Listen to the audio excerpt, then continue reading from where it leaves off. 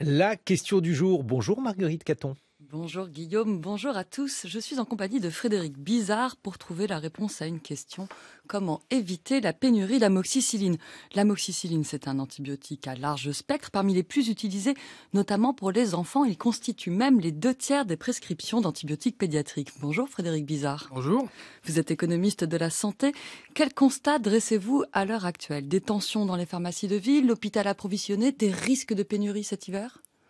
Oui, parce que les causes sont structurelles. Si vous voulez, on a pour ce qu'on appelle les médicaments matures, les médicaments anciens, les médicaments qui sont tombés dans le domaine public, qu'on appelle les génériques ou les biosimilaires pour les biotechnologies. En fait, on a une production qui s'est euh, qui s'est concentrée dans les mains de moins en moins d'acteurs. Si on prend l'amoxicilline, c'est un cas extrêmement intéressant. D'abord parce qu'un un des antibiotiques les plus prescrits, les plus consommés, on a en France un seul euh, producteur euh, qui est encore qui ne produit pas la substance active, la matière première. Il ne fait qu'assembler en Mayenne, c'est le laboratoire GSK. Euh, Où est produite la matière active? Elle, est produite pour GSK à Singapour. Euh, et ensuite, vous avez un autre laboratoire qui est euh, Sandoz, qui appartient à Novartis, qui produit en, en Autriche. Et ça, c'est les deux laboratoires qui produisent pour le, pour le monde entier. Après, vous avez des distributeurs, puisqu'en fait, on est dans un marché concurrentiel. C'est pas la même chose que les marchés, ce qu'on appelle le principe de, nouveaux produits innovants. Là, on est sur les anciens produits. Donc, vous avez tout un tas de, euh, de producteurs ou de distributeurs qui ont le droit, parce que le, brevet est dans le domaine public, de distribuer les médicaments. Mais eux, ils produisent où? Ils produisent principalement en Inde et en Chine. On, on a considéré au moment du Covid qu'il y avait 90% des antibiotiques qui étaient produits en Inde et en Chine. Faut voir que ce qui pose un problème euh, essentiel, notamment de, sur un plan écologique, sur un plan des, normes environnementales. Euh, chose. À, Hyderabad, une, ville au sud de l'Inde, 150 euh, industriels ont concentré leur production d'antibiotiques là-bas. Ce qui fait qu'on considérait que chaque jour, juste pour que vos auditeurs aient une idée quand même du problème que ça pose et, et de la raison de la, une des raisons de la pénurie, c'est qu'on considérait qu'il y avait chaque jour dans les rivières euh, de rejeter l'équivalent de la consommation euh, en, en, antibiotiques de la Suède. Donc il a fallu fermer, parce qu'on est quand même, y compris en Inde, aujourd'hui de plus en plus regardant sur les normes environnementales, on a fermé tout un tas de ces usines-là. Donc y compris dans ces pays-là, on a restreint les capacités de production. La semaine dernière, la mission interministérielle mandatée par Matignon pour trouver des solutions aux pénuries de médicaments a préconisé un New Deal européen. Début juillet, c'est la commission d'enquête sénatoriale lancée sur le même sujet qui dévoilait ses recommandations. Pour l'instant, en attendant le projet de loi de financement de la sécurité sociale qui viendra normalement avec la rentrée parlementaire, on n'a vu qu'une seule mesure pour lutter contre le risque de pénurie. Donc jeudi dernier, l'Agence nationale de sécurité du médicament a pris la décision d'augmenter de 10% le prix de l'amoxicilline. À quoi s'engagent des laboratoires en contrepartie? Mais je crois que surtout qu'il faut prendre conscience de, de, malheureusement de, de, de, la nullité de l'impact d'une telle mesure. Pourquoi? Euh, Pour augmenter les capacités de production, bah, il faut que, il faut que l'industriel investisse euh, dans son usine une nouvelle ligne de production, en, en, engage de, euh, de nouvelles forces vives. Euh, une augmentation de 10% du 1er octobre à, à fin avril, enfin, il n'y a qu'un effet d'aubaine, entre guillemets, si on peut parler d'effet d'aubaine, pour le laboratoire à prendre. Bien sûr que le laboratoire va prendre, mais, mais il, va, il peut toujours, on peut toujours le forcer à s'engager sur les choses, mais il faut quand même comprendre qu'il y, a des mécanismes économiques derrière. On peut considérer qu'il y a les gentils et les méchants, que les labos sont forcément méchants, mais les labos, ils répondent à une chose euh, assez simple, qui est une incitation économique.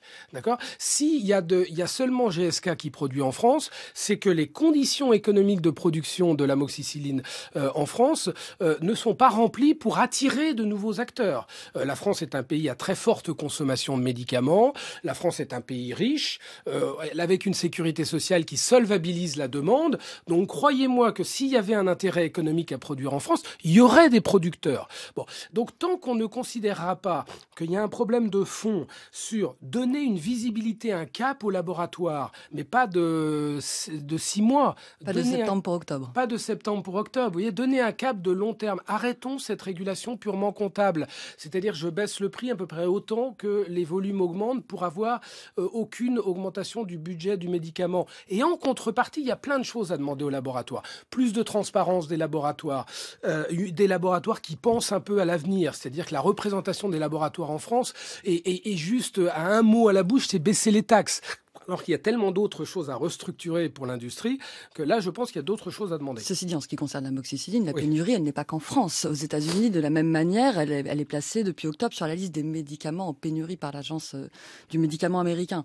Donc on ne peut pas dire que les prix soient l'unique question et qu'en France, euh, ce soit simplement parce qu'on manque de visibilité. Enfin, non, mais ce serait que la faute à la je France. Vous ai donné... Non, non, mais je vous ai... non, mais il y, y, a une part, il y a des facteurs externes, il y a des facteurs internes. Après, vous savez, moi, je suis un peu stoïcien, c'est-à-dire qu'il faut savoir euh, sur quoi on peut agir tout de suite. On peut dire c'est la faute à, au, au monde, c'est la faute à l'Asie, c'est la faute à la mondialisation. Ok, mais une fois qu'on a dit ça, on n'a pas dit grand-chose. Donc il y a des choses qu'on peut faire euh, tout de suite, c'est-à-dire de redynamiser une production qui existe. Vous voyez?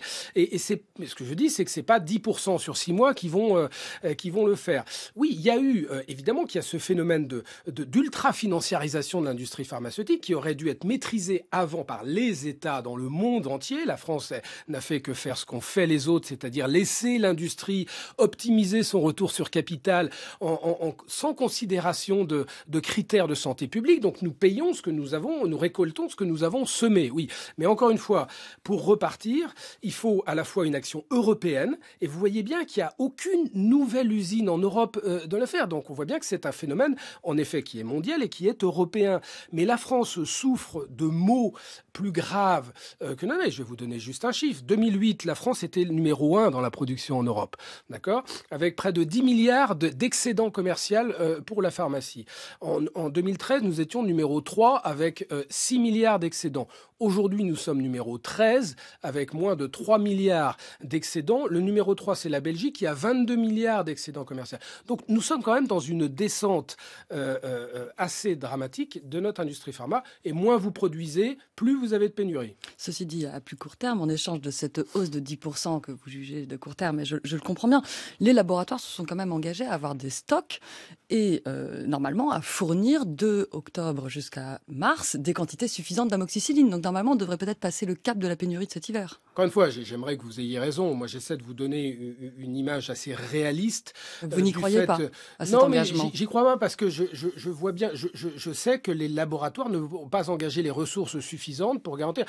Cette usine de GSK à, à Mayenne exporte 80% de sa production. Donc 20%. Donc elle, elle est assez libre, vous voyez, pour euh, en fait trouver les débouchés euh, qu'il le faut. La, demande est bien supérieure à l'offre. Donc le rapport de force entre les États euh, et les laboratoires, il, faut les gérer avec un certain équilibre, une certaine raison. J'ai une dernière question à laquelle je voudrais que vous puissiez répondre très rapidement, Frédéric Bizarre. Quand il est difficile d'augmenter l'offre, l'autre manière d'éviter les pénuries, c'est évidemment de réduire la demande. Vendredi dernier, le gouvernement a décidé d'autoriser les pharmaciens à délivrer eux-mêmes des antibiotiques pour certaines infections sans ordonnance médicale, mais après un test vérifiant l'origine bactérienne. Est-ce qu'à votre avis, c'est une hypothèse que j'avance, c'est une manière de réguler la prescription d'antibiotiques. Non, mais c'est une très bonne mesure parce que je pense qu'il faut, en effet, à partir de ces tests qui sont fiables et y compris d'ailleurs, on pourrait y mettre les, les, les laboratoires, euh, les biologistes médicaux. Une fois que vous avez un test fiable, il faut raccourcir les délais d'accès pour l'usager. Ce qui compte, c'est ce qui compte pour l'usager, le service à l'usager. Et une fois que les pharmaciens, avec ce test-là, ce qu'on appelle ce TROT, ces tests rapides, ont détecté que c'était bien une bactérie, il faut leur donner évidemment le droit à la prescription. C'est une très bonne mesure. Merci Frédéric Bizarre. Je rappelle Merci que vous. vous êtes économiste de la santé, professeur associé à l'ESCP Europe, président de l'Institut Santé. Merci Marguerite Caton.